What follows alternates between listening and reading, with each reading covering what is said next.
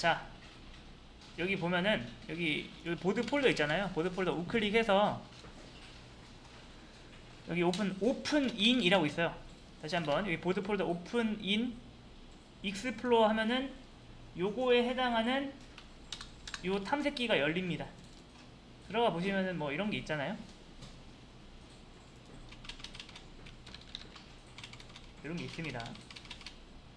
자. 어, 그러면은 이제 요거를 깃허브에 올릴 거예요. 근데 여러분 여기서 여기 클릭해서 cmd 이렇게 들어갈 필요 없습니다.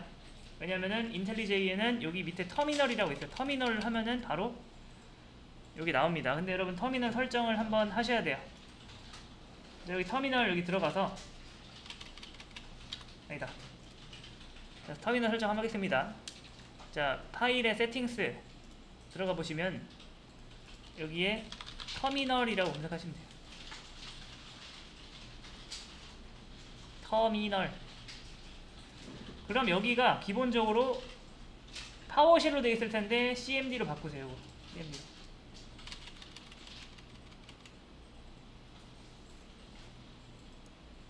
오케이. 한 다음에 자 내가 밑에서 터미널 열었으면은 다시 요거 여기서 이거 끌 수 있거든요. 끈 다음에 다시 키면 이번에는 제대로 이제 CMD로 나옵니다.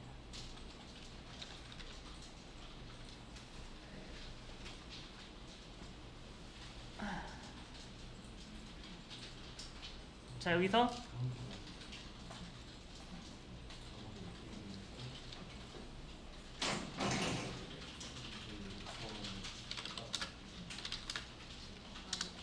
일단 여러분 여기서 이게 나왔으면은 일단 성공이에요.